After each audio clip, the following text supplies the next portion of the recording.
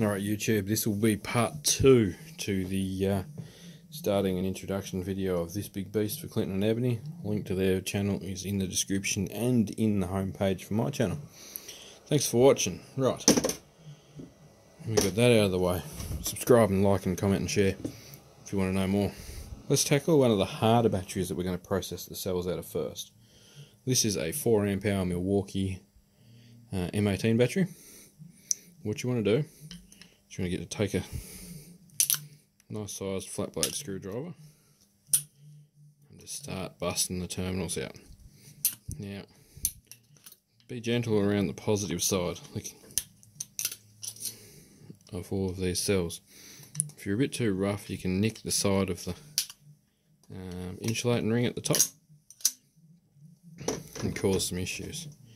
You will get sparks every now and again they're not always avoidable, but as you can see, I've processed many of these because the process is there. You just work your way along. Some spot welded nickel strip. Get to that stage, you will get pieces like this. You just got to tear off. Have a bin handy because you're going to have a lot of that crap. Got a nice little wheelie bin right next to me. Ready to do these.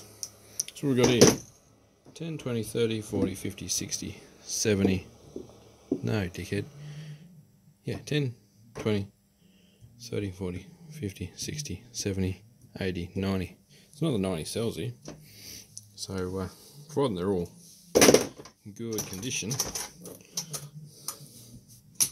we'll basically have this board completely done before I bring any more from inside. So we've got more of these, uh, both cells and um, full batteries inside. Heaps of cells that are already tested.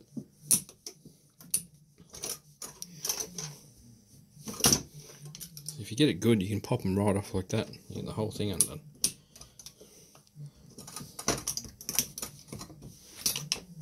See, look at that. Look at how quick we're going through them. And these aren't the fastest ones. There are better cells than these to pull apart. So there you go. Only got one on this side that's got a dag on it, so we rip that off with the side cutters. Okay. From the negative side. Oh, they're tight. Oh, wow. Doesn't like moving sometimes.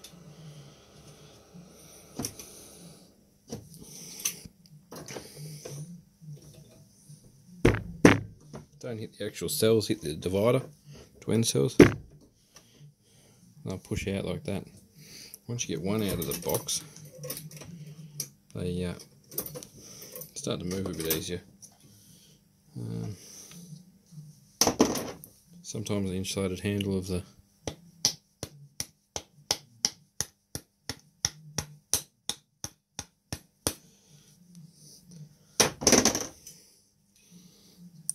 failing pretty hard eh? here.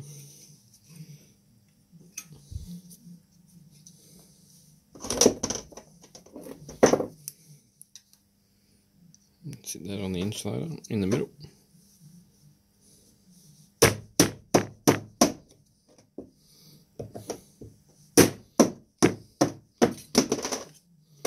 Oh, hopefully it's oh, it's still tight. Oh, it frees the case up a bit and you can get them out a bit easier. Right, two cells.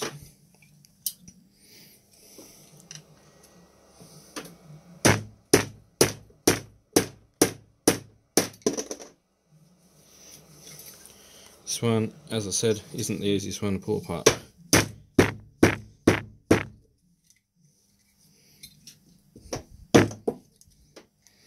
Because that bit's rubber, it's really quite easy to keep you screwdriver in the right spot because you don't really want to punch the bottom of the cell open. It'll be messy. Potentially dangerous, I suppose. Probably not.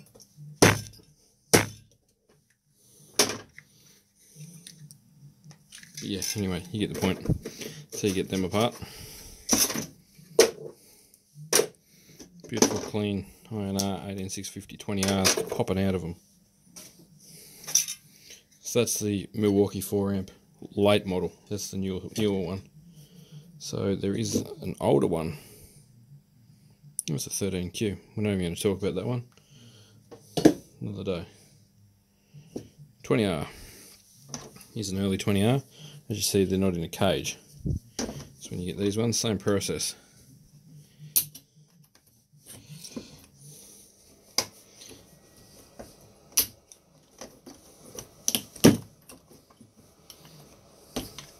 Start blasting that uh, nickel strip off. Try not to stab yourself. This screwdriver is about yay big for reference. It's a cheap crap one, so I can't even tell you what size flat blade it's meant to be. But you get the idea. Of smoke and some sparks there. Just got to be quicker. You're getting sparks. You're moving too slow when you're doing them. It is like 11 o'clock at night on a uh, Sunday night before I go back to work, so starting to be worn out and slow for the day. Stop bumping the camera.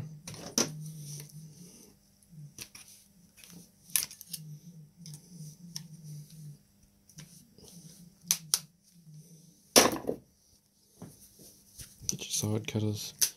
Rip. Rip them strips off.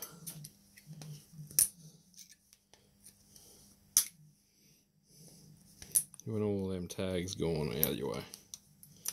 You don't want to be dealing with them. So once you've done that, your cells will fold over. You grab that divider out.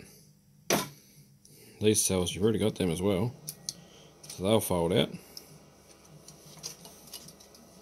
What I tend to do is grab them in groups of two, three, or even four. Twist, that'll break the cell connector. Like that every battery you pick up that's not the exact same as this will be different and harder to do. Uh, these are probably some of the easier ones. But they still all take time, like there's a lot of time invested in this battery before we even start soldering or doing some time consuming crap. The uh, whole process is slow, takes time, costs money. It's got to be done you're making a really, really cool battery, you go and price a lithium battery for a RV camper van thing. One, you probably won't find one that holds 18650s. And uh, two, I wouldn't want to imagine what it would cost you. Like it would be be next be next level. Um, wouldn't mind building a few of these for people um, a bit of a storage system, but uh, it's definitely something that you do late of an evening with a beer in this case. Because it's a uh, it's a damn tedious process. Alright. Let's pick a different brand. no point doing the same one over and over again. This is an AEG 1. Point, no 2 amp hour um, cell. As you can see, water damaged. Cells are probably fine. BMS board is dead. Similar to the caged Milwaukee 4.0. Uh, yeah, if you're in America, you'll call it a XC 4.0. If you're in Australia, they'll be called a just a 4 amp or a 4.0 amp battery. I don't think they have the XC branding. I think that was an American branding thing. Go along and just start breaking tags. Get them all off and out of your way. Like that. Or you've got them up and out of the way. Bust them off. The cells, spot welds are fairly weak, they come off alright. That one's got a temperature sensor, that wasn't anything special. You want a decent size open box or bin or something to flick the things into. You're going to spend all day just flicking them. Especially if you want to make an 800 cell battery. Okay, so pop that open. pop that open. And so we're going to be able to make a complete cost breakdown. I'll have links to all the things I use in each of my videos, um, including the cell frames. We'll do a bit of talking about the test equipment. I've got a uh, 18650 tester, which is an Opus 3100, um, which came from banggood.com. The cell frames came from banggood.com. Um, the Opus was supplied for free because I make review videos and things like that. And then you just simply push them out. See, look, they just slide out. 20R. So a lot of the stuff will come from Banggood. I'm going to make out of some LG cells with the I'm going to finish this battery bank down here this uh, one I've been using for the little 12 12 volt one that I've been using on the 12 volt inverter that's all 2 to 2500 milliamp hour cells so I'm just going to use some of the other random cells that I've got to make one more pack for that and we'll make that 4S so we can have a play with these style of BMSs um, it's rated at 30 amps. I don't believe it. I don't think it's big enough for that. The 25 amp one that's on this thing doesn't like any more than 15 as a charge. So yeah I don't know. We'll buy something better for this big battery. I'm going to have a play with these on a small battery if you're interested in some BMS videos, but I can give you links to all those BMSs and things. Look, 12 volt one's holding up well on this pack that we're talking about. That's done a bit of work already, and uh, still going sweet, so keep your fingers crossed for that. But like I say, everything that uh, I buy and review, if I get it for free, there's no super bias to it. Obviously, I'm a little bit biased because I want to show people what I've got, but there's no uh, no commercial agreements in place that say I have to say nice things about any of the products, wherever they come from. So uh, I'll give everything a fair test and a fair review because it was my product getting reviewed, that's what I'd like. Don't say anything bad about it unless there's a lot of bad things to say about it. Um, anything you buy from banggood.com, there's a link in the video description down here. Uh, down in the bottom there, which will say, what can you do to help this channel for free? There's a few things you can do. You can share the videos with your friends, you can like the videos, you can subscribe. Subscribing doesn't actually make that much difference, so if you don't have a YouTube channel, um, not the end of the world. Um, subscribers are only a number, not everyone watches everything they're subscribed to. I know I certainly don't have time to watch everything I'm subscribed to. I'm not by no means the busiest man in the world. So it's a better example of bring them all down like a bunch of grapes. A bit of a flex off here. Might start snapping. Like any bit of steel or nickel, whatever it is. It work hardens, so a few flexes it'll split and crack. That's all the balancing points to the BMS on, board just in these few short minutes, we've got some cells processed. You're not going to be this fast the first time you do them. Uh, take your time the first time you do them so you don't damage the cells. If you damage the cells, potentially throwing money in the bin because a dodgy cell, like you've seen in the first video, has to be dealt with as a dodgy cell. If in doubt, recycle it. Lithium batteries can be un well, dropped can be unforgiving. Oh, there he is. If operated outside safe parameters. Keep them inside safe parameters with a BMS, with fuses, temperature control, ventilation. It's happy days. Enjoy the benefits of a good lithium battery.